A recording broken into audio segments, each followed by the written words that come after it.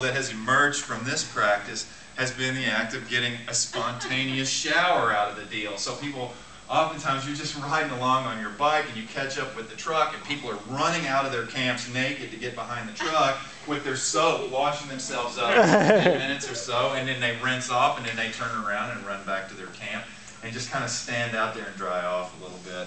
Uh, and, and you don't need it, that's like a minute and you're dry. I mean, it's like, it evaporates real fast. They had a triathlon. and I participated. That's me here on the end. My friend Kelly was here to take pictures and document the whole thing. Black Rock, the Burning Man Triathlon is a second annual one. And guess what? You won. I think I, I, well, I won. I think I was the only sober contestant. How long Uh, is the swim? It, we had to lei on the playa floor for about 45 seconds and Good go. pretend to swim. And then we, and it was basically a bike sprint up to the Burning Man and then back, and then we had to run up to Headspace and back. And so, I mean, it was like, it was, again, I think I was the only sober one that participated. And so, yeah, so I took victory. I got a t-shirt, and then they put a lay around my neck when I was done. That was the only way I could get laid on the fly.